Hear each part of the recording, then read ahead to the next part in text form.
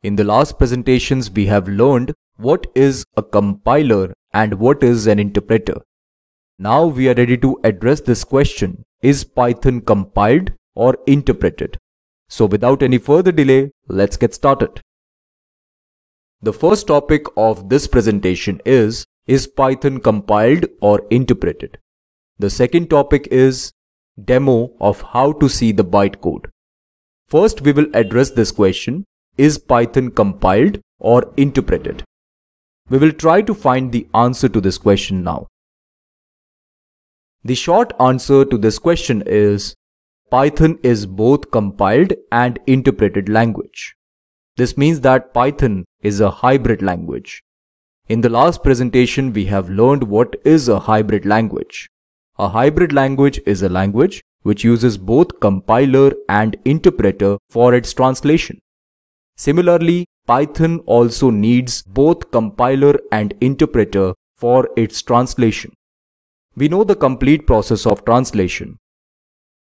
First, the source code is provided to compiler. Source code must have an extension .py because the source code is written in Python. So py is short for Python.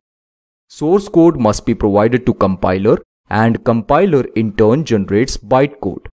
The extension of bytecode is .pyc.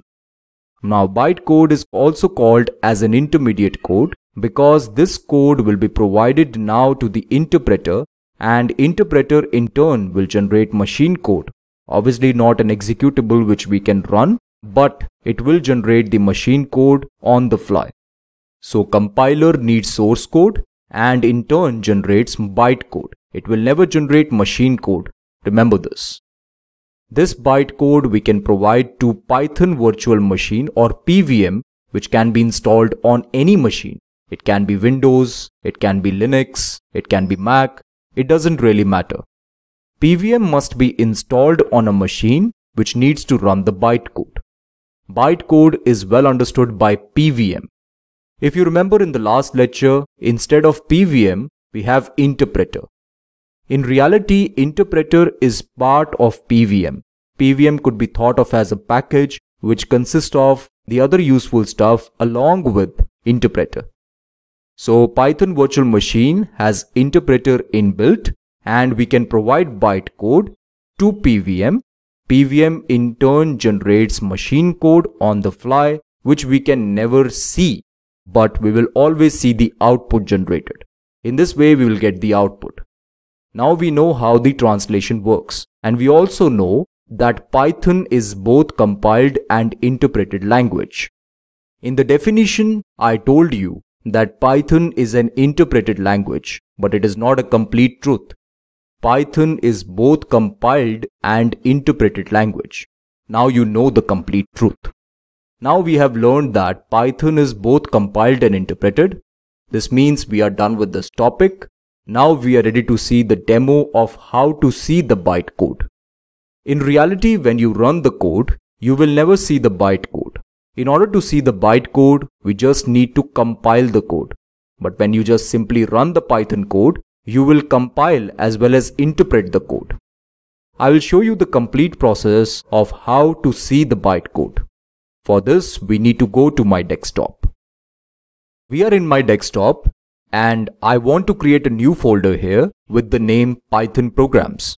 For this, I'll right click on this desktop and click on new and here I'll click on this folder. Now I'll name this folder Python programs. You can observe that an empty folder is now created. Let me drag this over here in this empty space if I double click on this, you can observe that this folder is empty. Let me close this. Now I would like to create one notepad file so that I would be able to write the Python code in that notepad file. I already have this notepad shortcut, but you might need to search for this notepad. You can always do that. So let's double click on this. You can observe that this is an untitled notepad. I want to write my code in this notepad file. It is always possible to write Python code in notepad file.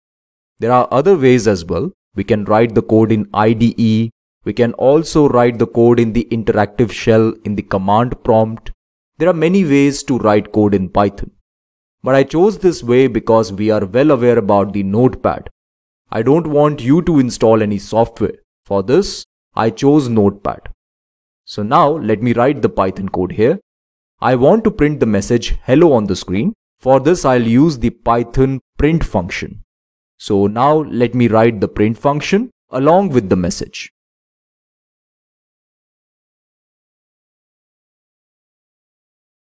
So this is the print function and in this print function, you can observe that I have written this message hello.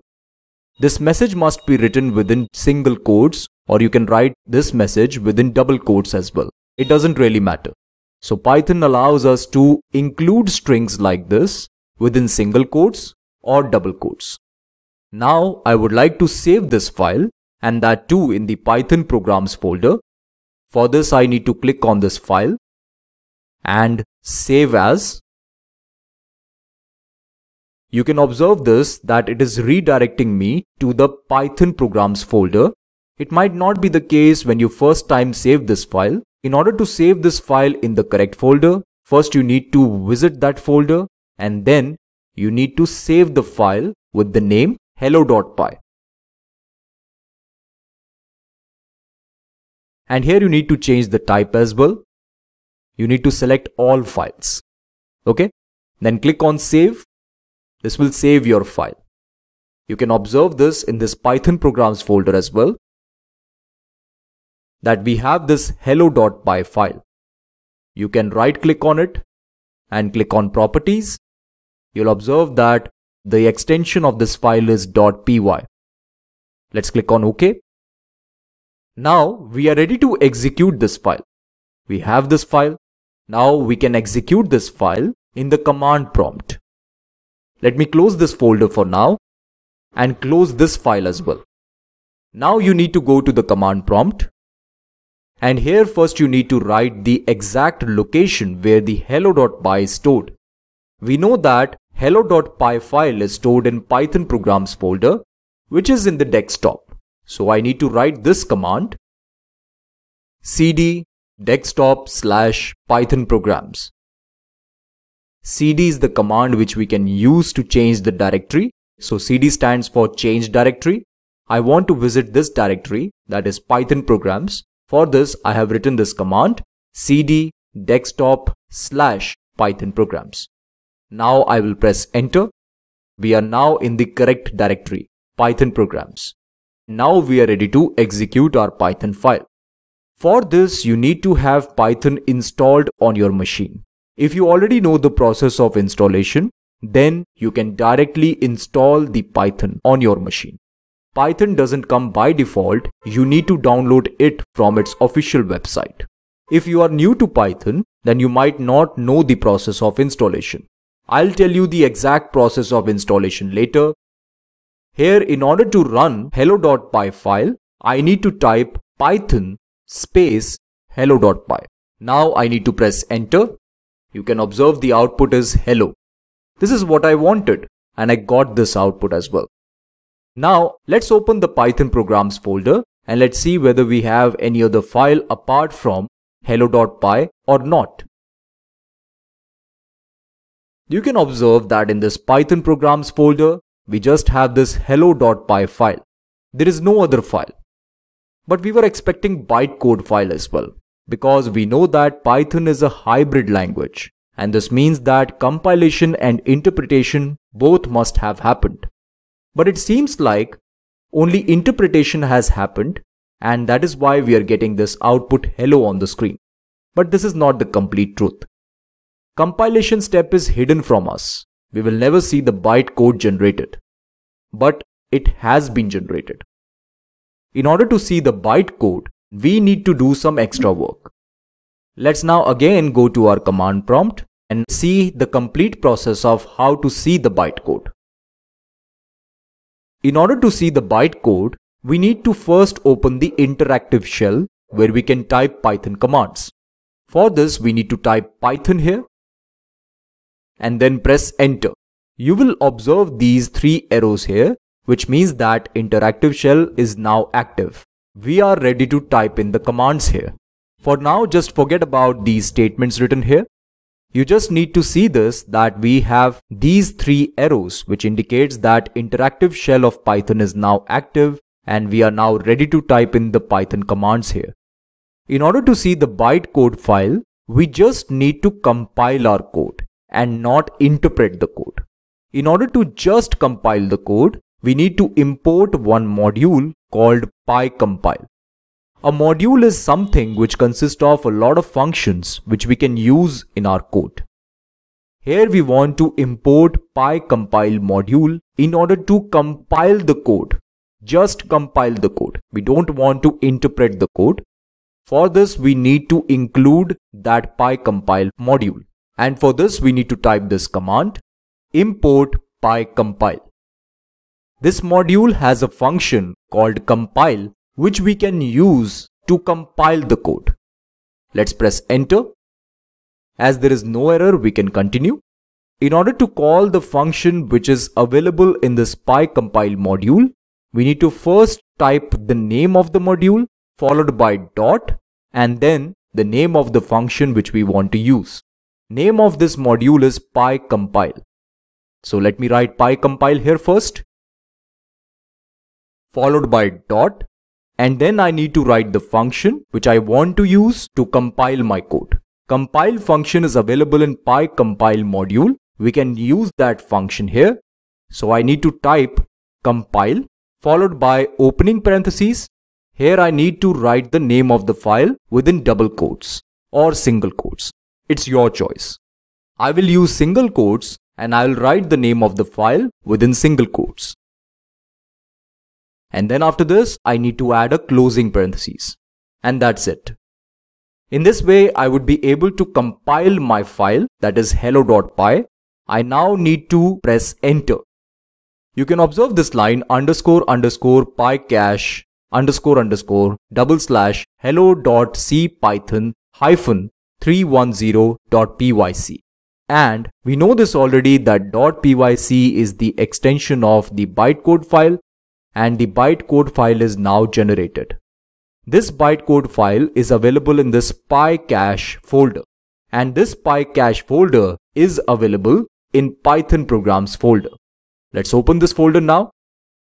You can see there is a pycache folder.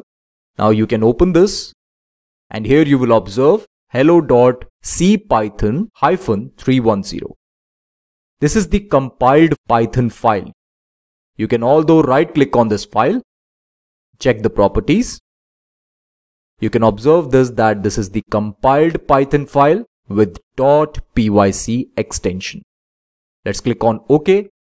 So we can say this that this is the bytecode file generated if you want to see the content of this bytecode file, then you need to open this in Notepad. Let's open this file with Notepad. This is the bytecode file and obviously we cannot understand this, although interpreter is capable enough to understand this file. We can provide this file to any machine which has PVM or interpreter installed on it. That interpreter is capable of understanding this file and it is capable of generating the output as well. I hope the complete process of how to see the bytecode is clear to you. So we have seen that Python is both compiled and interpreted language and we have seen the demo as well of how to see the bytecode. This means that we are done with this lecture. Okay friends, this is it for now. Thank you for watching this lecture. I'll see you in the next one.